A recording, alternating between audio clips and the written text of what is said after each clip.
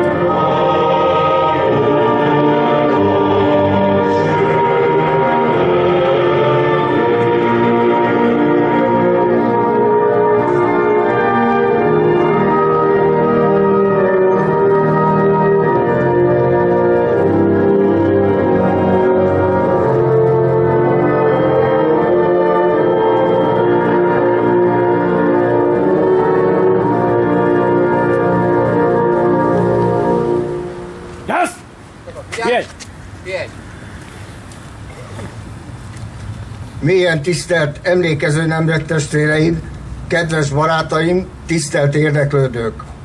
Szeretettel és tisztelettel köszöntöm emlékező ünnepségünkön a Gárda Szövetség tagszervezetei képviselői, képviseletében megjelenteket, az Új Magyar Gárda, a Jobbik újbudai tagjait, a KAPS tagságát, illetőleg látom, hogy közöttünk van Novák Előd úr, a Jobbik egyik alelnöke, őt is nagy országgyűlési képviselő, nagy szeretettel és tisztelettel üdvözlöm, megtisztelt te, hogy megjelent rendezvényünkön.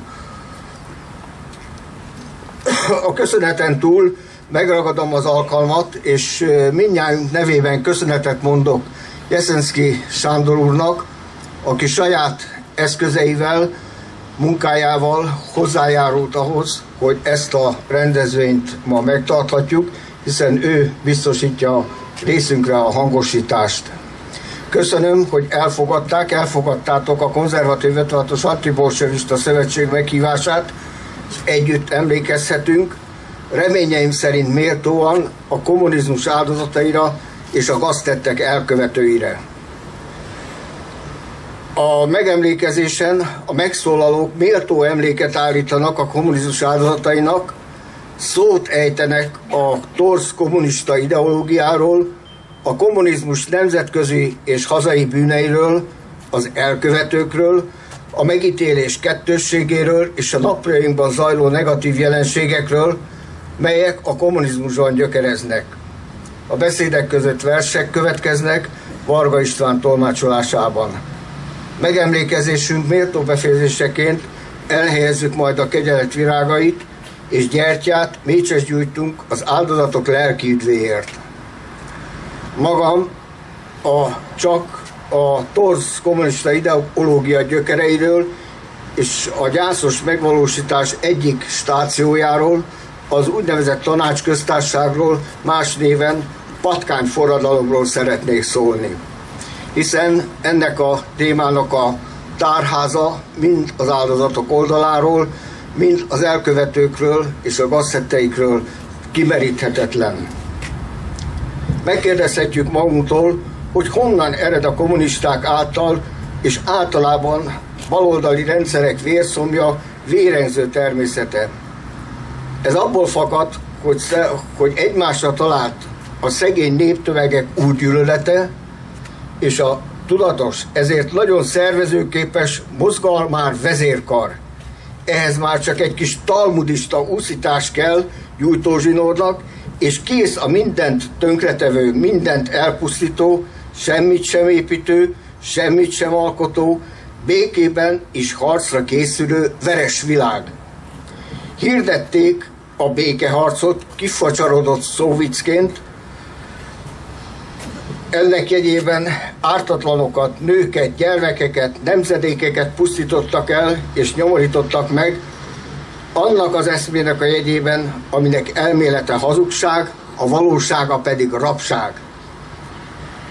Erről tanúskodnak az arccal földbe temetett, kezüket hátul dróttal összekötözött, kátrányba, pap, kátránypapírba tekert 56-os hazafiak csontvázai, akiket csak néhány deciméter lovak által megtaposott föld fedett. Szinte hihetetlen, hogy tudott egy ilyen primitív banda ilyen sokáig létezni, egy teljes évszázadon keresztül rombolni. Az is hihetetlen, hogy hogyan tűri meg a Corvinus Egyetem oktatói kara, a diákság, egy évszázadni tapasztalat után, hogy az egyetem kampuszának aulájában ott csücsüljön Karl Marx márványszobra. A kommunizmus áldozatainak számát világméretekben 100 millióra becsülik. Mi magyarok az elmúlt században egyike vagyunk azon nemzeteknek, mely fajlagosan ettől talán a legtöbbet szenvedtünk. Ennek a gyilkos eszmerendszernek megvalósításának egyik fontos mérföldköve, ami velünk 1919-ben történt, az úgynevezett tanácsköztársaság. Amikor én iskolába jártam, és erről tanultunk, még megillette a dicsőséges jelszó is. Ma már azonban erről egy kicsit többet tudunk, különösen akkor, ha Vári Albert koronaügyész helyettes eredetileg 1922-ben megjelent a Vörös, Urai, a Vörös Uralom áldozatai Magyarországon című könyvéből tájékozódunk. Az említett könyvből megtudhatjuk, 1919 133 napja alatt sokak halára ítélése úgy történt, hogy megkérdezték tőlük, tudjátok-e, mi a kommunizmus, és elvitték, majd Kun Kohn Béla parancsára a Dunába lőtték őket, azután a holmiukat magukhoz vették, és egymás között felosztották. A mű maga egyébként igazi mártír krónika.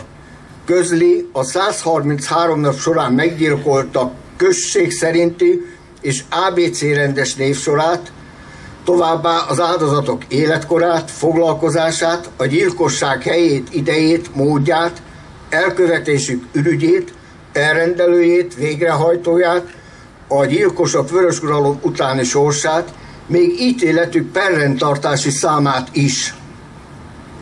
A gyilkosok könyvének leírásából megállapítható, hogy azok egyenesen az úgynevezett Purim ünnepi forgatókönyvbe illettek.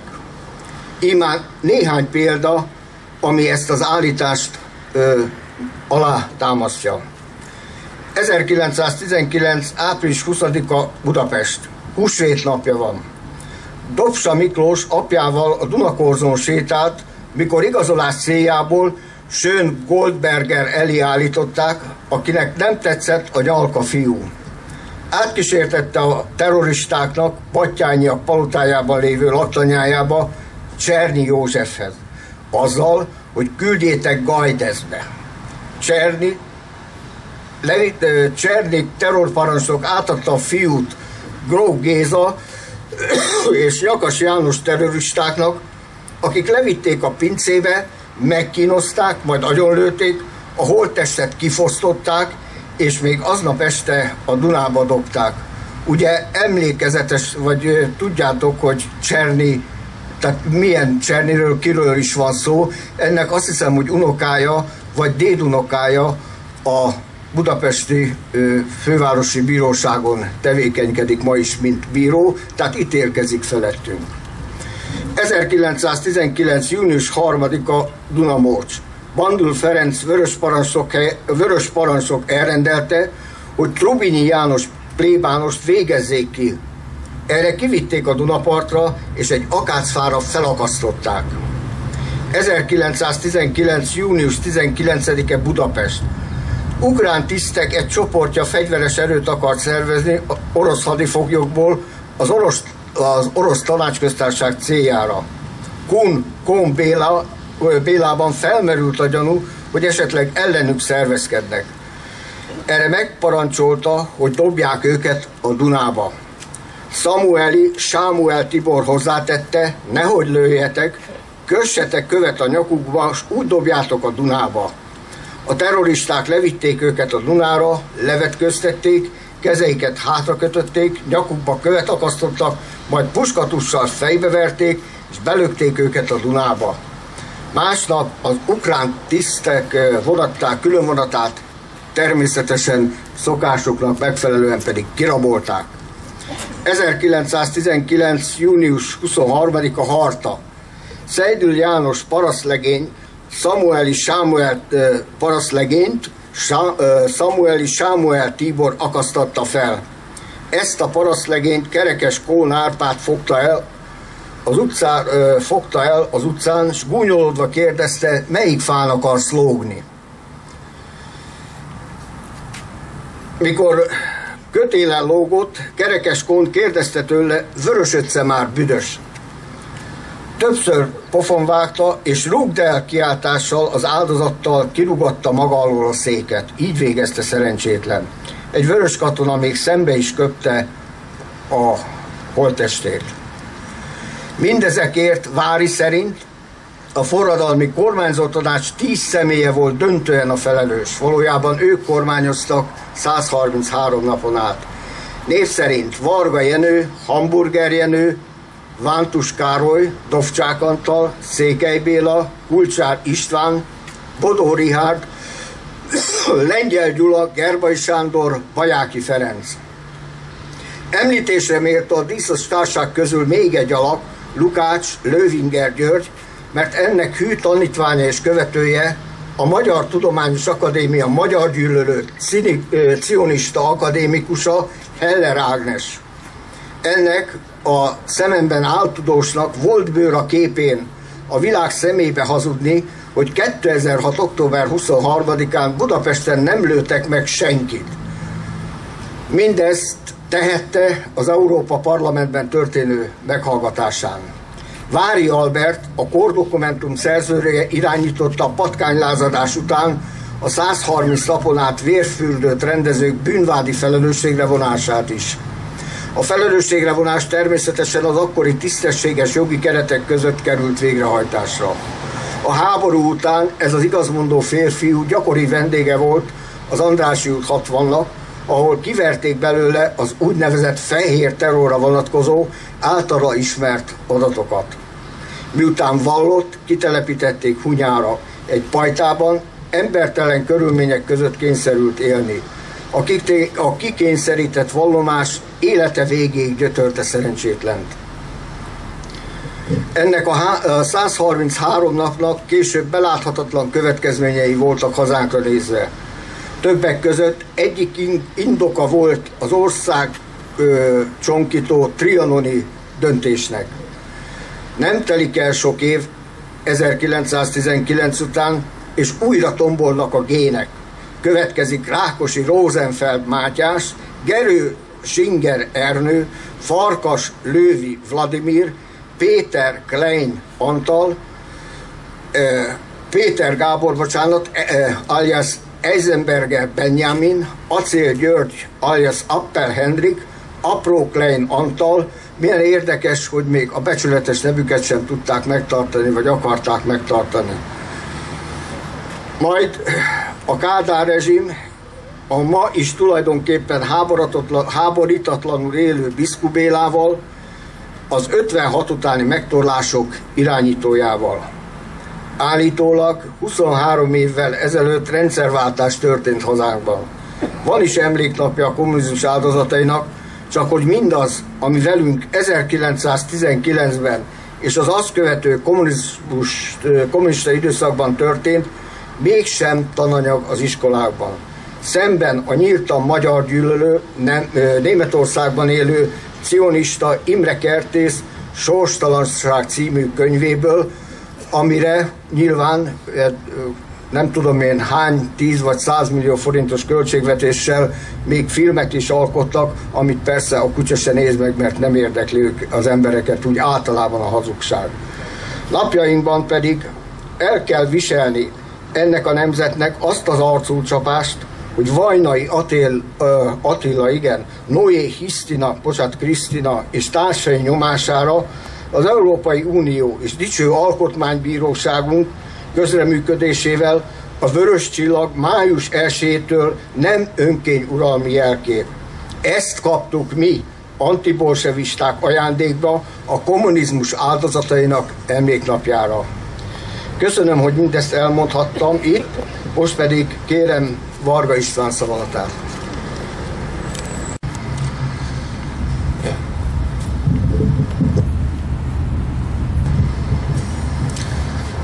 Elsőként egy Alföldi Géza verset szeretnék megosztani önökkel, veletek, ami közel 60 évvel ezelőtt íródott, de sajnos ma még nagyobb az aktualitása, mint annak idején.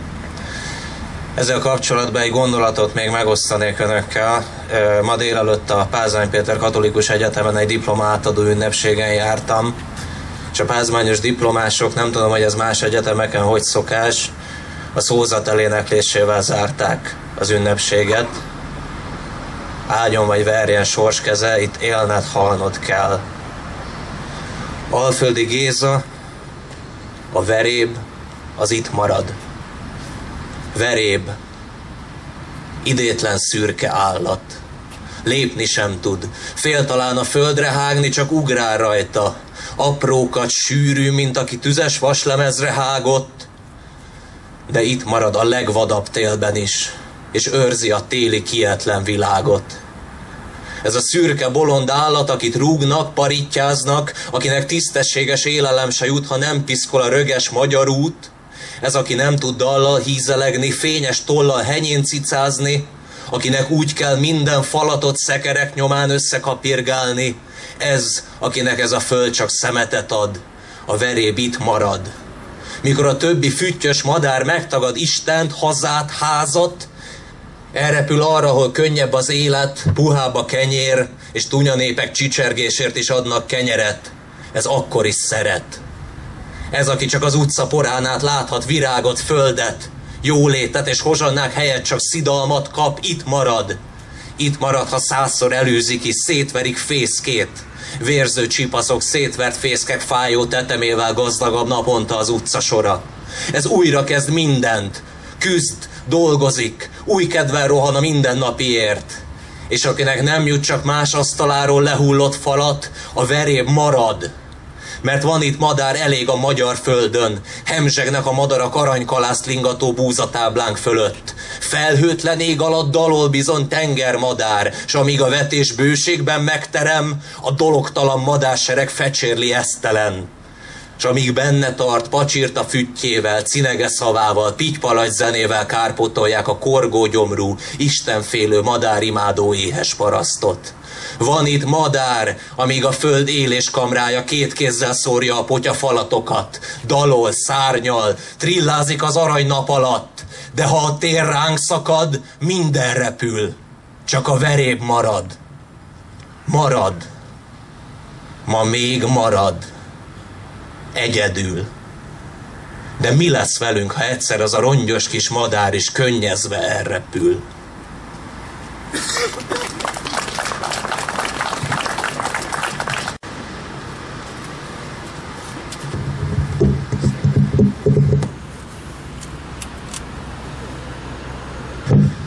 Köszépen. Kedves barátaim, először is elnézést kérek, hogy így kalapba és ilyen reketen és köhécselve fogok hozzátok szólni, de a betegágyból keltem föl, de úgy éreztem, hogy ezt a napot becsületbeli kötelességem, hogy együtt ünnepeljen veletek. Egy kicsi formabontó leszek, eltekintek azoktól a pátoszos nagy szavaktól, amelyeket most két-három napig hallani fogtok a rádióba, a tévébe, meg olvasni az újságokba, mert aztán többet nem nagyon. Szembe a holokausztal, ahol nap mint nap még a vízcsapból is az folyik, pedig a holokausz áldozatai és a kommunizmus áldozat közé van némi különbség, amire majd az előadásomban ki fogok térni. Bevezetőben azt szeretném mondani, hogy egy kicsit talán furcsán hangzik, de én elolvastam a Talmudot. Nem tudom, hogy köztetek van-e valaki olvasta, érdemes elolvasni, mert hogy valaki egy eszmét igazánból meg tudjon gyűlölni, azt előbb nagyon jól meg kell ismerni. És akik legjobban ismerik, talán azok lesznek a legnagyobb ellenségei. Ezért engedjétek meg, hogy az előadásomat három rövid kis idézettel kezdjem, ebből kettő olyan, ami hithű kommunistáktól származik, akik belülről ismerték a kommunizmusnak minden csinyát, binyát. A harmadik az nem volt kommunista, de jellemző, amit ő is elmond. Az első, akit idézni szeretnék, Szózsenyicin. Ismerős talán a neve, ő egy katonatiszt volt a második világháborúban, századosi ranga, tüzértiszt volt, pártag volt, és az utolsó szakaszában a háborúnak 1945-ben egy olyan kijelentést tett, ami nem tetszett valamelyik komisszárnak, ezért letartóztatták, és később a gulágokon töltötte 10 vagy 12 évet. Ő írta meg aztán azokat a könyveket, amelyeket nyilván ködötetek sokan ismertek, de a legjellemzőbb az a pár mondat, amit most nektek szeretnék idézni. Ah, elnézést, a kesztyümet sem merem lehúzni. Tehát Szolzsenyicin a kommunistákról. A kommunistáknál kártékonyabb és veszélyebb, ember, veszélyesebb embertípus még nem produkált a történelem. Cinizmusuk, szemtelenségük, hatalomégségük, gátlástalanságuk, rombolási hajlamuk, kultúra és szellem ellenességük elképzelhetetlen minden más normális, azaz nem kommunista ember számára. A kommunista nem ismeri a szégyent, az emberi méltóságot, és fogalma sincs arról, ami a keresztény etika így nevez, hogy lelkiismeret. A kommunista eltorzult lélek, egészséges szellemi európai ember nem lehet kommunista. Nincs olyan vastag bőrt igénylő hazugság, amit egy kommunista szemrebenés nélkül ki nem mondana, ha azt a mozgalom érdeke, vagy az elvtársak személyes boldogulása így kívánja. Azt hiszem, kommentár nélkül is sokat mond. A következő, akit idézni szeretnék, egy francia kommunista, mindenki tudja egész biztosan, hogy ezek a franciaországi kommunisták, ezek még a, a nagy francia forradalom szelleméből táplálkozva a liberalizmusnak az ászlóvívői, azonban az 1956-os forradalom nagyon sokat rádöbbentett arra, hogy mi a kommunizmus, kommunizmus igazi arca. Ezért aztán engedjétek meg, hogy, hogy fölolvassam nektek, hogy mit mondott ez a francia kommunista, Albert Camusről van szó, a következő. A leigázott bilincsbe vert Magyarország többet tett a szabadságért és igazságért, mint bármilyen más népe világon az elmúlt húsz esztendőben.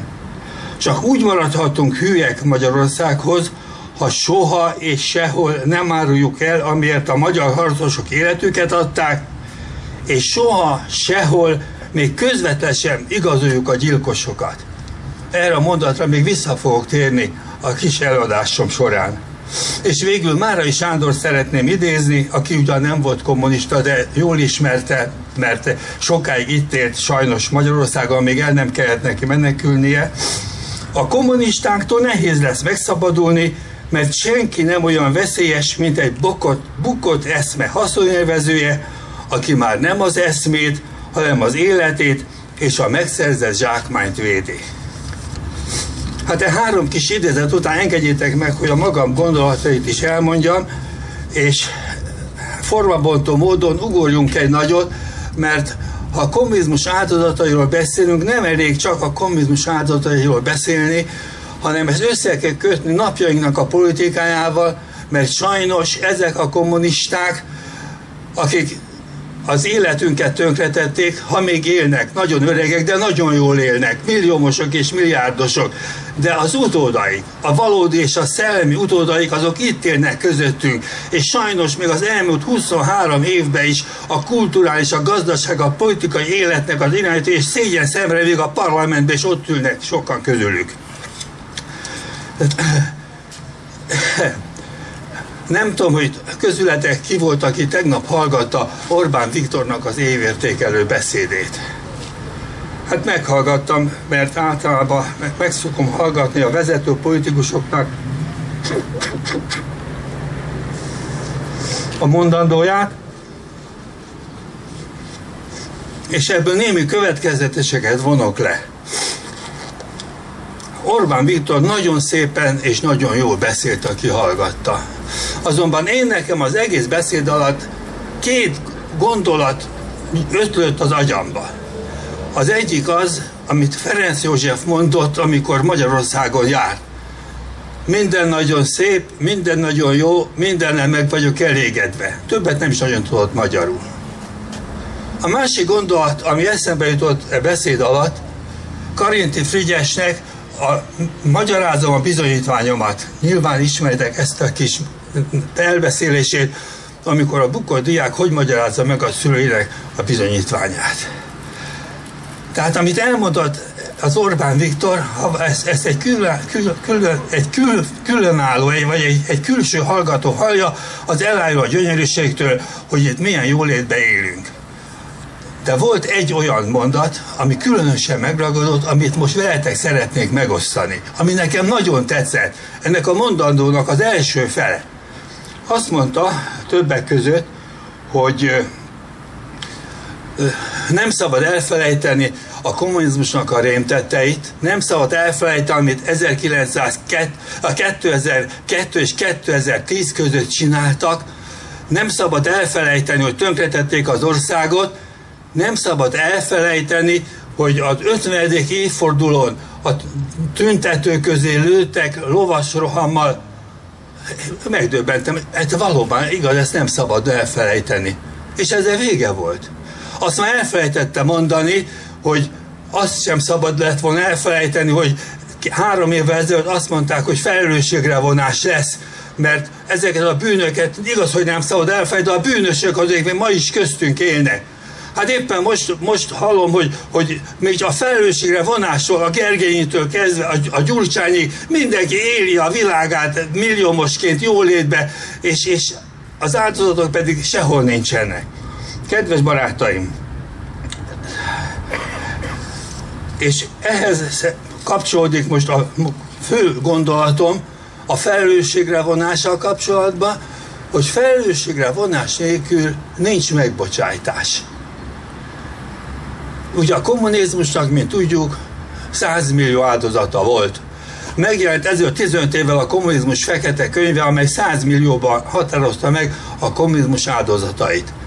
Azóta eltelt 15 év, és további kutatások kiderítették, hogy nem 100, hanem 120 millió áldozata volt ennek a kommunista rendszernek, ami szomorú, hogy ameddig a holokausz az zömmel a németektől és a nemzeti szocializmustól idegen eszméket, eh, valókat hát üldözte, és részben semmisítette meg, addig a kommunizmus a saját népének, a saját fiainak a soraiból szedte ezt a 120 millió áldozatot. És most jön a gondolatomnak a lényege, amit szeretnék, hogyha ha megjegyeznétek, amit a Talmudból kiszedtem, a Talmudból egy gondolat volt, ami engem megragadott, hogy mondd el a fiaidnak okosak ezek a zsidók, mondd el a fiadnak, és annak a fiának, amit soha nem szabad elfelejteni. És ezt szeretném most nektek elmondani a lelkemből ki, hogy mondjátok el ti is a fiatoknak, az unokátoknak azt, amit letagadnak. Mert a történelmhamisítás az, ez egy szörnyű dolog. Mert amit mondanak, az mind igaz. De az, az igazságnak az egyik fele. Az a, az, a hazugság és a történelmhamisítás, amit nem mondanak el, amit elhallgatnak. És ez, amit elhag, ezt kell nekünk tudni, és ezt kell továbbadni a fiunknak, az unokánknak. Azt mondják, hogy a holokausznak 6 millió áldozata volt. Arról most nem beszélek, hogy ezt egyre többen vitatják. Mi ne vitassuk, és fogadjuk el, mert, mert könnyen börtönbe kerülhetünk. És ha azt mondják, hogy 10 millió áldozata volt, én azt is rájuk hagyom, és azt sem tagadom, nem leszek holokauszt tagadó hogy az ember mit érez és mit gondol, és mit mond az unokájának, a gyerekének, az másra tartozik. De fog, ha elfogadjuk a 6 milliót, és szembeállítjuk a 120 millióval, ég és föld a két szám közt a különbség. 6 aránylik a 120-hoz. Hát ez egy borzasztó. Egy aránylik a 20-hoz. Hát ez, és akkor a, erről a 6 millióról egész évben minden fórumon hallunk, tévé, rádió, sajtó, és ami a legszomorúbb, a tankönyvekben is ez szerepel. A tankönyvekben is ezt a történelem hazugságot tanítják a második világháborúról, a holokausztról, 56-ról. Az, ember, az emberek a szíve összefacsarodik, amikor ezeket hallja. 6 millió a 120 millióhoz. Ha belegondolok, akkor, a, akkor húszszor annyit kéne beszélni a kommunizmus áldozatairól, mint a, a nemzeti szocializmusnak az áldozatairól, mert húszszor annyian vannak. Ezzel szemben van egy évben két-három nap, amikor megemlékezünk a kommunizmusnak a 120 millió áldozatáról, és a megkérdőjelezett 6 millióról pedig reg, minden évben reggeltől estig hallgatni kell. És engedjétek meg a, a leg jobb a, a személyes példa, amit az ember saját maga átélt, és amit saját maga csinál, és mond, és tesz. És engedjétek meg, hogy elmondjam, hogy, hogy mondd el a fiaidnak, hogy ezt én hogy valósítottam meg. Van nekem egy fiam, aki sajnos Amerikába él. Szerencsére magyar lányt vett feleségül, az unokáim is ként születtek, és van egy 16 éves unokám a Zalán. Ez a 16 éves gyerek, arról nem beszélve, hogy olyan szépen beszél magyarul, mint bármelyikünk. Most, amikor október 23-án hát megemlékeztek ott a családon belül, van egy olyan játék, hogy pinball, amikor ilyen festék lövedékekkel harcolnak egymással az emberek. A 16 éves Zalán fiam a fiammal egy, az unokám, a fiam együtt föltették a karszalagot 1956, és, és gyakorlatilag lejátszották a, a szabadságharcnak a küzdelmét, hogy a, a felkelők hogyan harcoltak az idegen megszállók ellen. Ha idehoznám most a 16 éves unokámat, az biztos, hogy, hogy olyan szépen tudna beszélni a a, a, a becsület napjáról, amit most két hete ünnepeltünk, vagy 56-ról, vagy a második háborúról, mint nagyon kevés 16 éves diák itt, itt Magyarországon. Tehát arra kérlek benneteket, hogy mondjátok el a fiatoknak, az unokátoknak, hogy mi az igazság, hogy 6 millió és 120 millió. A 6 millióhoz oda lehet tenni a kérdőjelet. De a 120 millióhoz nem lehet oda tenni a kérdőjelet. És befejező gondolatként engedjétek meg, hogy elmondjam, hogy, hogy több telefont kapok, meg még, még több e-mailt kapok, ahol azt, azt vetik a szememre, hogy az előadásaimban, meg az írásaimban soha nem mondom azt ki, hogy zsidók. Hát, drága barátaim, maga az, hogy zsidó kimondani, maga ez bűn ezelőtt néhány évvel írtam egy cikket az 56-os földom elárulásáról, és ebben leírtam, hogy Kovács István vezérőrnagy, aki a vezérkar főnöke volt 56-ba, eh, zsidó munkaszolgálatosként került ki 42-be a frontra, átállt a szovjetekhez, partizán lett, aztán 45 után hazajött, nagy pártember lett, és csodálatos karriert futott be, mindaddig, míg 56-ban nem árult, el nem árult a forradalmat. Megjelent a cikk, először a Szítja küldbe, talán ismeritek, de aztán több újság is átvette. Egyszer kapok egy idézést a főutcáról, hogy menjek el a főutcára. Elmentem, hát ott ki volt éve egy csomó szítjakürt, és hát mondja az a nyomozó, hogy hát hogy, hogy kerül Magyarország ennek a terjesztés, stb. stb. Rátérve a cikkre, hogy én leírtam azt, hogy ez a Kovács István egy zsidó munkaszolgálatos volt. És ezzel megsértettem az ő személyiségi jogait, mert az, hogy munkaszolgálatos, ez hagyján, de az, hogy zsidó, ezt nem írhattam volna le. Hát ugye ezt jegyzőkönyvbe vették, én mondtam, hogy hát ez, ez tény, és hát ugye ennek folytatása lesz.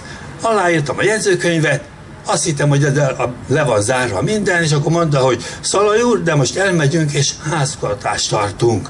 Jött még két nyominger, két gépkocsiba, haza, szegény feleségem azt se tudta, hogy hány óra van.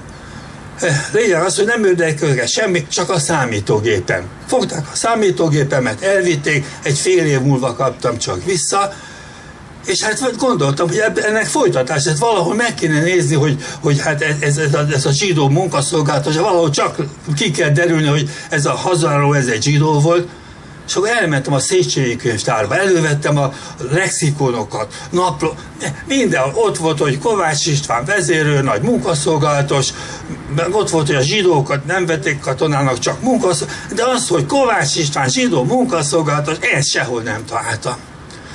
És eszembe jutott, jó, és hát most, most ez a nyomorult, ez most hat meg egy fél évvel ezelőtt. Elővettem a régi újságokat, és a Népszabadságban találtam egy nekrológot, ahol egy másik zsidó, a Hegedűs B. András írt a nekrológot, ami úgy kezdődött, hogy Kovács István anya neve Weiss Nelly, zsidó munkaszolgálatosként került ki a szovjet mondom, mindjárt lemásoltatom egy csomó filmásol példányba, elküldtem a ügyészségre a kapitányra, aki kihallgatta, és ettől kezdve én soha nem mondom azt, hogy zsidó, hanem amikor mondom, amikor írom, mindig azt mondom, hogy posztkommunisták és liberális kozmopoliták. Ez, ez, ez nagyon jó megfogalmazás, tudni, a, nem, nem minden liberális kozmopolita zsidó. Sajnos vannak keresztények, meg, meg reformátusok, meg ateisták is, tehát nem minden zsidó kozmopolita, és amikor azt mondom, hogy, hogy liberális kozmopoliták, ebbe aztán mindenki bele gondolja azt, amit bele kell gondolni, de az, hogy zsidó, az nincs kimondva. Tehát azzal szeretném befejezni a mondakámat, kedves barátaim, hogy mondd el a fiaidnak, mondd el az unokáidnak, hogy kik a kommunisták, kik azok a liberális kozmopoliták, mondjátok el, hogy a 6 millióval szembe ott áll a 120 millió, és mondjátok el mindazt, ami nincs benne a tankönyvekbe, és reményeim szerint csak akkor, hogyha adja Isten, hogy a jobbik kormányzati pozícióba kerüljön, és olyan oktatási minisztérium legyen, aki a tankönyvekbe is lemeri majd írni azt, amit csak mi most így magunk között tudunk és merünk elmondani. Köszönöm szépen, hogy meghallgattatok.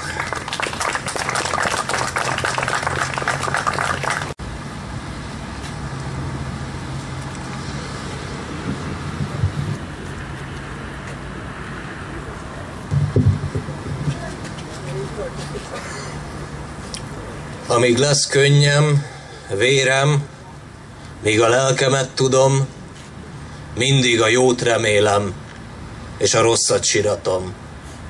Ábrányi Emil, mi a haza? Egy élénk fiúcska, akiben a lelket Isten már növeszti, aki már figyelget és kezd számot adni arról, amit érez, így szólott apjához, édes szülejéhez. Kedves apám, lelkem, valamit nem értek. Ha ti a hazáról, ti nagyok beszéltek, szemetek jól láttam, majd könnyekben ázik, majd kigyullad, lángol, tüzesen szikrázik. Kedves apám, magyaráz meg nékem, mi hát az a haza, mert nem értem. A haza, ez a föld, hol világra jöttünk. A haza, ez az ég, mely ragyog fölöttünk. De hiszen az ég nagy és mindenütt egyforma. A haza, e tájék, kéklő hegyek orma, minden, ami itt van és szívünknek drága, levegője, napja, vize, rónasága, a virága réten, a madár az ágon. De hiszen van szebb is a kerekvilágon, ha te, én meg anyám messze vándorolnánk, mindenütt megélnénk, boldogok is volnánk. Van madár mindenhol, mely magasba rebben, úzdogál mindenhol kis hal a vizekben, mindenütt van szép ház, mindenütt van bőség. Több a haza ennél, Nagyság és dicsőség, öröm és gyász együtt, nyomorultá válik, akitől elvették és megsínli halálig. Én nem sínleném meg, mindenütt van játék, mindenütt van lepke. A hazafiacskám, szívünk legszentebbje, oltár, mely előtt csak fejle hajtva térden áldozik az ember. Jó atyám, nem értem, magyaráz meg jobban. Hallgass ide, gyermek, Apuka mesét mond, hallgasd, s jól figyeld meg. Egyszer volt, régen volt, üldözőbe vették, és addig bántották, addig sértegették, míg átokkal ajkán elhagyta hazáját. Esküvel fogadta Magyarország táját, többé sose látja, nem kívánja látni. Ezután idegen Isten fog imádni, a magyar gyűlölni és utálni fogja, ha keresztre húznák, nézném mosolyogra hallgatná gyönyörrel zokogását, jajját, szólt és ment haraggas, gőgös üldözőknek ádász gúnykacaját vitte a fülében. Pergett az időnek halk homokja szépen, s azt ki látta lobogó dühében a haragos embert ezelőtt sok évvel, most ámulna rajta, vagy nem ismerné fel. Grófokkal komázik és hajlong a lába idegen királynak fényes udvarába a kegyelmes Isten úgy fölvitte dolgát, hogy sürögve járnak körülötte szolgák. Tündöklik a napfény aranyos ruháján, serleg a kezében, mosoly a száján. Hercegek bárók közt oldódik a nyelve, síme most is ott ül, és poharat emelve szól a társasághoz harsányan kevélyen. Bor, paripa, mámor, kártya, kocka, éljen, éljen a szerencse és a szívtelenség, hogy a koldus erkölt szondráit nevessék. Hatalomban és kincsben járjanak bokáig, éljen az okosság, és éljen sokáig minden a világon, csak a haza vesszen amint ezt kimondja, sápad, összerezzen. Szemei forognak, kábult agya szédül, s mint aki el akar válni józan eszétől, fölkacag kikelve rettentő magából. Azután a könnye omlik, mint a zápor, mint a tüzes villám úgy csap a szívébe. A lenézett gúnyolt távol haza népe, és őrült szerelemre gyúlad meg iránta, akit úgy gyűlölt, hogy pusztulásnak szánta. Ittas cimborái lassan szétoszolnak, dünnyögik magukban, majd jobban lesz holnap, s ő maga a rémült inasokkal szemben, ott zohog sokáig az üres teremben. S a szolgákik parancsát lesték, Másnap a hatalmas embert hasztalan keresték, átkutatták a várost, a kapukat elállták, de hiába minden többé nem találták. Hová ment? Nem sejtik.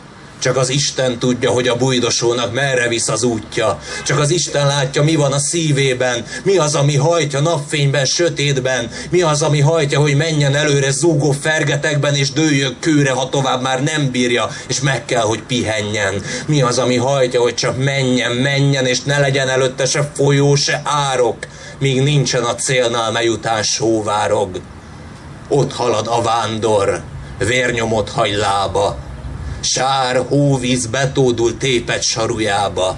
Elkopott mezének nincs már semmi éke, de szívében több lesz, mindig több a béke. Egy pár jámbor ember, kis tanyák parasztja, a szegény bolyongót szívesen marasztja, pihen is a kunyhók nyájas belsejében, és az apróságot tanítgatja szépen, rejtélyes mosolya húzva őket félre. Isten neve mellett a haza nevére de fölriad aztán, mert nyugtot nem adhat idegen föld néki, mert itt nem maradhat. Végső erejével tolja magát, tolja, elcsigázott testét már alig vonszolja, néha leleroskad ekkor összeretten, és fölnéz az égre nagy szomorú ilyetten, s kérleli az Isten nagy szótlan keresve, még szüksége van rá, még ne hagyja cserbe. Ó, azok a bércek, mintha látta volna, Ó, ez a kis erdő, mintha ráhajolna, oly közel van hozzá, és ott az a várrom. Porba hult a vándor a magyar határon. Úgy van, ez a föld az, ez az ő hazája. Odaroskat hozzá hidegülő szája. Mozdulatlan karja rögötölelte, és egy hosszú csókban elröpült a lelke. Visszatért meghalni ahhoz, akit imádott. Sírsz, fiacskám? Jól van. Ez a hazalátod. Adjon az Isten! Kedves bajtársak, kedves jelenlevők, őszinte tisztelettel üdvözlöm a megjelenteket, Üdvözlöm a Gárda Szövetségnek a tagjait, és a tiszta szívemből üdvözlöm a megjelent új magyar gárdát. Kedves bajtársaim, kedves jelenlevők, mielőtt elkezdeném mondani a mondókámat, eszembe jutott valami, amit szeretnék veletek közölni. Van, aki tudja, van, aki nem. Ez a múlt héten történt, a megemlékezéshez tartozik valahogy ez is. Úgy döntött az állítólagos magyar bíróság, akik tudnak magyarul beszélni, hogy Gergényi rendőrparancsnok és benne rendőrfőparancsnok szabályosan járt el 2006. október 23-án, amikor lemészárolták a magyart, az ártatlan magyart, még a vendéglőkből is kihívták őket, hogy jobban tudják őket ütni. Drága barátaim, most pedig emlékezzünk hőseinkre. Emlékezzünk a sztalinizmus, a szabad kőműves rothschildizmus áldozataira. A 20. század legtöbb halálos áldozatát követelő ideológiája, vajon mit gondoltok melyik az? A legtöbb ember azt gondolja, hogy a fasizmus, de tévednek. Tévednek, körülbelül ötszörösen tévednek. Csúnya dolog a vérag albegra, de érdemes tudni, hogy a fasizmus 20 milliós nagyságrendű áldozata mellett a 20. században a vad kapitalizmus támogatja a bolsevizmust, akinek a számlájára körülbelül 200-250 millió áldozatot írhatnak. Mindenki hallott már a magyar zsidóság tragédiájáról. De vajon hányan hallottatok a második világháború alatt és utána 800 ezer magyar állampolgárt deportáltak a dicsőséges felszabadító Szovjetunió haláltáboraiba, ahonnan aztán senki, de senki nem jött vissza. Ezt a titkosítást felhasználva a mai napig működnek olyan történészek, újságírók, Magyarországon, akik mindent, de mindent elkövetnek a bolsevizmus és a gulag relativizálása érdekében, csökkentve vagy kétségbe vonva az elkövetett bűnök nagyságrendjét és jelentőségét. Hogyan lehetséges, hogy egy jelenlegi politikai párt ifjúsági tagozata olyan embert tekint példaképnek, akik megszervezték a kubai koncentrációs táborokat, és személyesen részt vett a kivégzésekben, valamint tevékeny részt vállalt a kínzásokban is. Például Armando Valescoas költő és emberi jogi aktivista. Igen, barátaim, ő Che mit tudom én mi, aki ezt is mondta. Az ellenség könyörtelen gyűlöletet teszi lehetővé, hogy túllépjük természetes korlátainkon, és hatékony, hidegvérő, gyilkoló gépé váljunk. A magyar nemzet nem ilyen züllött lelkületű nép. Drága barátaim, az mellett, hogy mi birkák vagyunk, ez is jól mutatja, hogy milyen a bolsevista jellem, és milyenek a mai utódai. A Gyurcsánok, Gergényik, Benék, Demszki Gáborok, és sorolhatnám tovább. Az országgyűlés 2000. június 13-án elfogadott határozata értelmében minden év február 25-én tartjuk a szabad kőműves bolsevizmus áldozatainak emléknapját. 1947. február 25-én Kovács Bélát az akkori független kisgazdapárt főtitkárát a megszálló dicsőséges szovjet katonái hatóságok jogtalanul letartóztatták, és a Szovjetunióba hurcolták. Ahol nyolc évet töltött fogságban.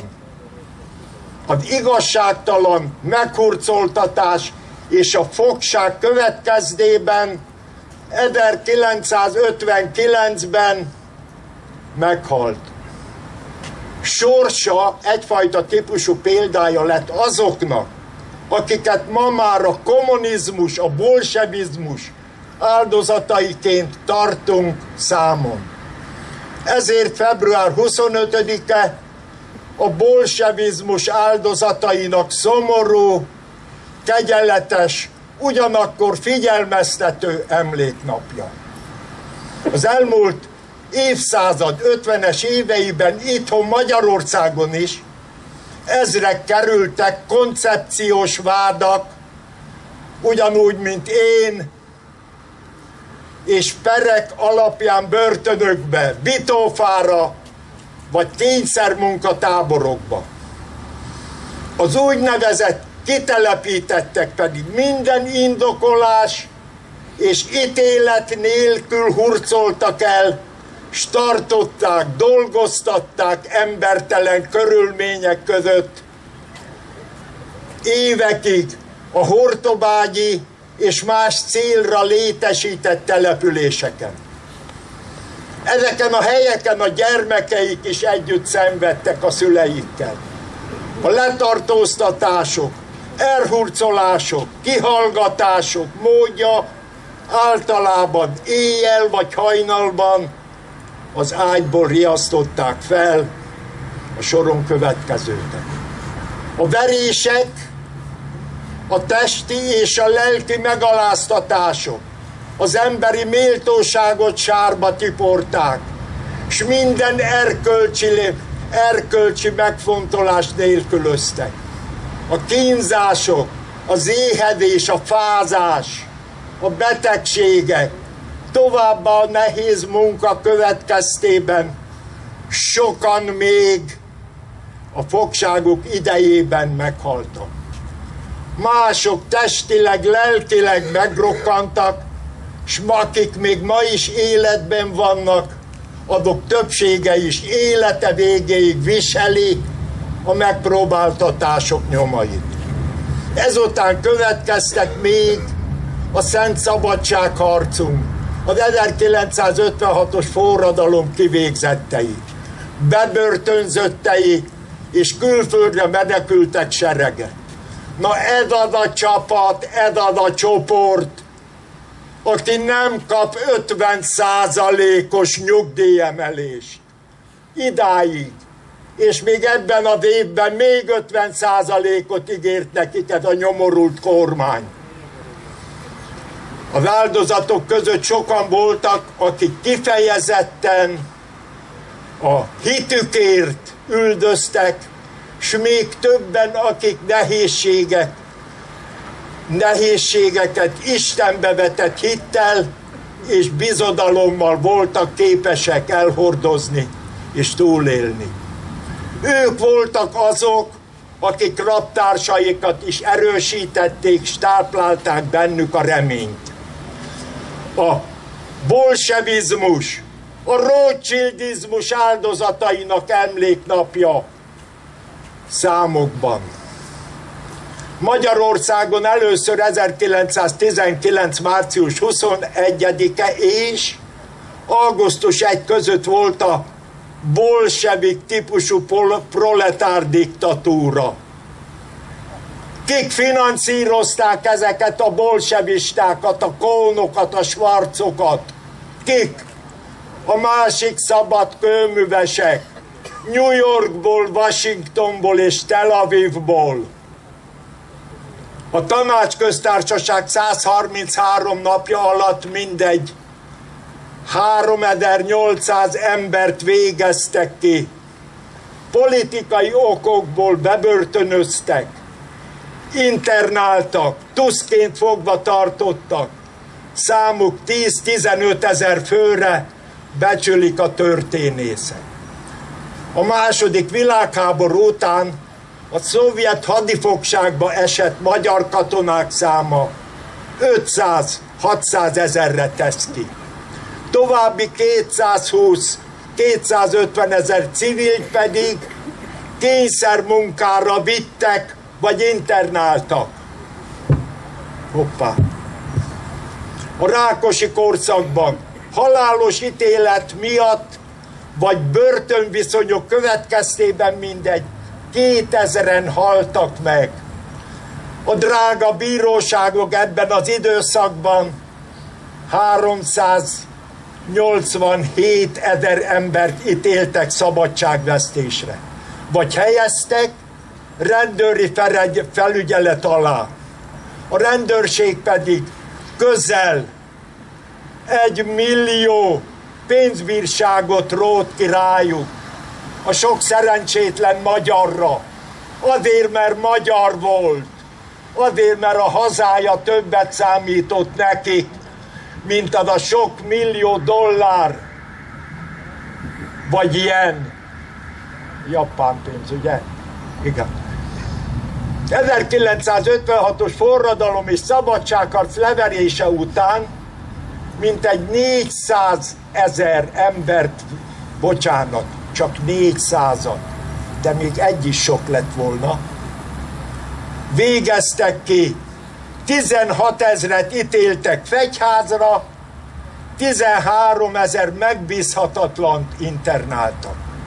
Hogy 1956 és 89 között mennyi áldozata volt az MSP előtt pártjának, az MSMP-nek még nem tudjuk. Nem kívánok itt most a világ többi részein történt rémtertekkel foglalkozni, csak majd később egy picikét. A kambodzsai népírtással, amelyek során gyakorlatilag kiirtották az ország kétharmadát, kiirtották Ukrajna tekintélyes részét, a világ számos országába, ahol bolsevizmus megjelent, ott emberek millióinak az életébe került. Ezeket a gaztetteket manapig agyon hallgatják a mindenkori kormányok. Azért kell agyon hallgatni, hogy a holokauszt áldozataira jobban odafigyeljenek az emberek. Megemlékeznek. A megemlékezés nemes dolog, ez rendben van. Ez okból, barátaim, ezt jegyezzétek meg. Washingtonban, a Fehérházban kioltották a lámpát a holokauszt áldozatainak a megemlékezésére. Rómában, a Kolosseumban és egyes hírek szerint a Vatikánban is eloltották a lámpákat. Drága barátaim, semmi kifogásom nincs, oltsák, csak ne gyújtsák meg soha többet. Csak akkor miért nem oltották le a lámpákat? Amikor a szabad kőművesek, a hiroshimai, a Navasaki atombomba támadásnál sok milliós áldozatáért, a Dresdai, a hamburgi százezres áldozataiért a sztalinizmus 120-150 milliós áldozatai, az iraki, a vietnámi, a Nepál bomba áldozatai, a Tito partizányai. Nem elég, hogy írtották, megerőszakolták az asszonyokat, és a férjüknek végig kellett nézni, hogy hogy erőszakolják meg az asszonyát. És utána a férjet agyonlőtték. Ez volt a Tito partizányai. Na most, drága barátaim, magyar ember, ahol létezett a Ceausescu szekuritái, a Habsburgok, a szeretett Habsburgjaink, a hajnajóaik, hány száz és hány százezer magyart mészároltak le. Ezeket, drága barátaim, ismét várhatjuk, ha nem fogunk össze, ahol ketten állunk, három fele húzunk. Ne legyünk ilyenek, mert akkor mi fogunk ezeknek a hősöknek a nyomdokaiba lépni. Emlékezzünk hát kegyelettel az elhult áldozatokra. Áldjuk azoknak emlékét, akik Istenhez és nemzetünkhöz való hűséggel és kitartásukkal példáink lettek a szenvedésben. Adjunk hálát azért, hogy mi ismerjük a békesség útját, törődhetünk az Isten félelmével, járhatunk a Úr Jézus Krisztus követésébe. És kérjük, hogy ez valóban így is legyen. Ó, ments meg, Uram, minket a vörök haláltól, a jégveréstől, éhínség van vagy nem, kalapba vagy sapkába, aki ismeri, énekelje velem.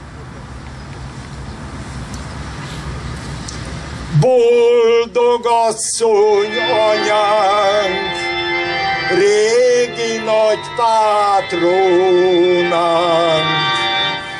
nagy inségben lévén, így szólít meg hazánk Magyarországról, édes hazánkról, ne feledkezzél el szegény magyarokról. Adjon Isten! Köszönöm! Ha le tudok menni. Szédülök, mint a mátos. De oda akarok menni most.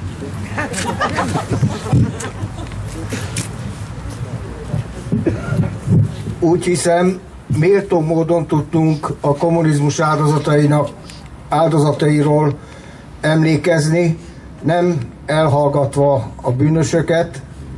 Nagyon jó tolmácsolásban hallgattunk erről, nagyon jó beszédet, mint Szalai barátomtól, Szalai Robert barátomtól, mint pedig Pogyka bácsitól, aki igen-igen ékes szólóan és hevességgel beszélt mindezekről.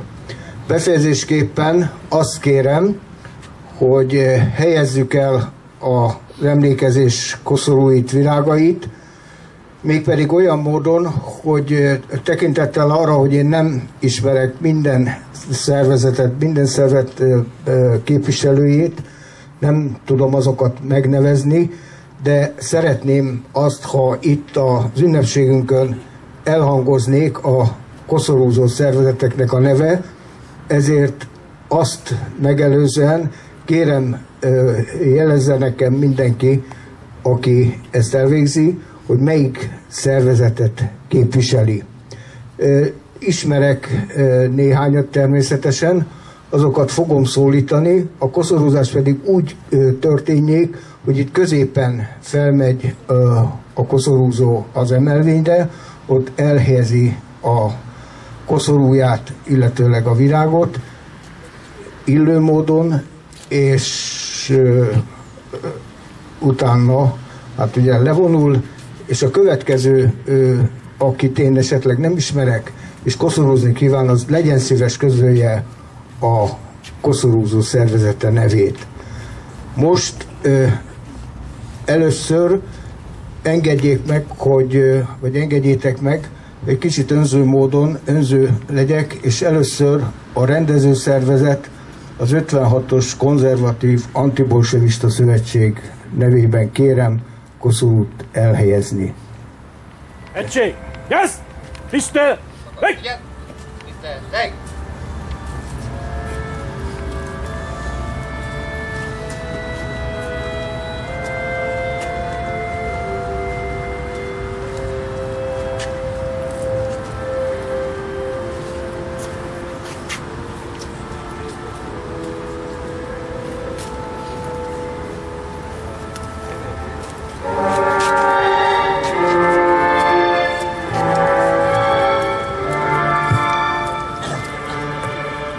Kérem a Magyar Nemzeti Gárda nevében helyezzék el az emlékezési rágait.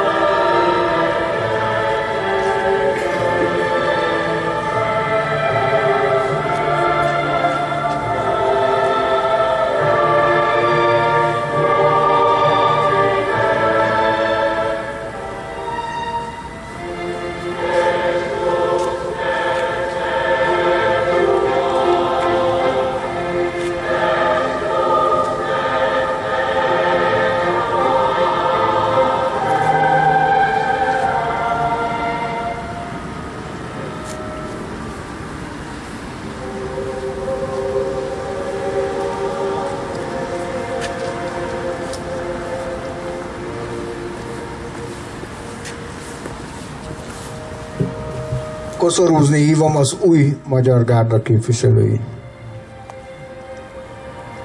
Nincs koszorútok? Jó, rendben van. Akkor a Sebődön század képviselői.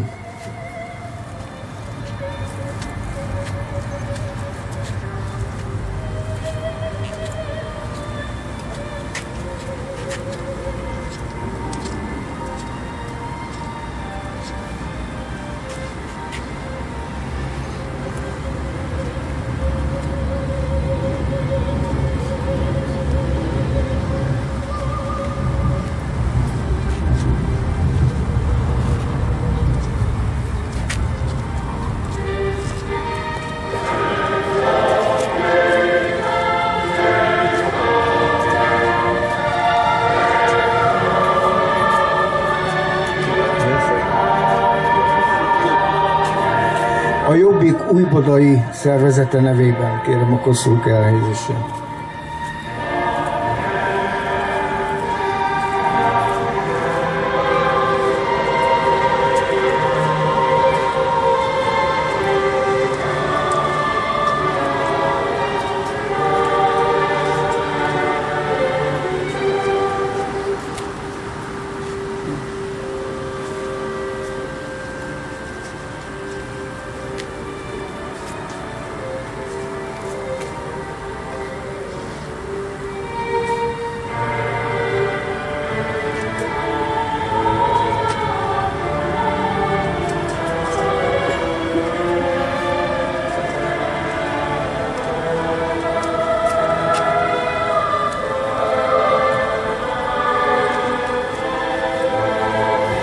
Szólítom a Nemzeti Front nevében koszorúzókat.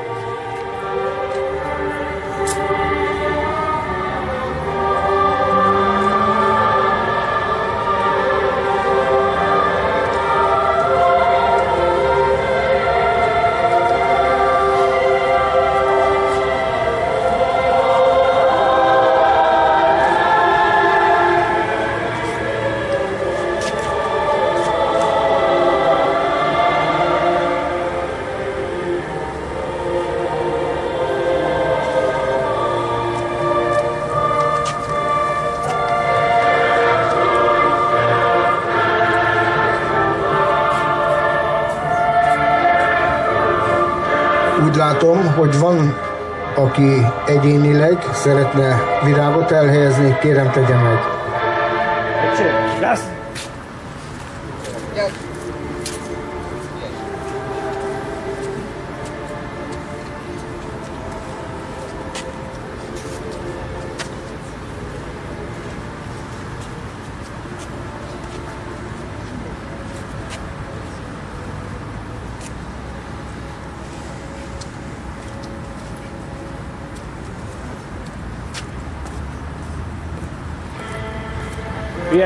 Most pedig felkérem kedves minnyájukat, akiknek jut, és reményeim szerint nagyon sokaknak fog jutni, helyezzünk el egy-egy mécsest az áldozatok lelki üdvéért, és gondoljunk rájuk.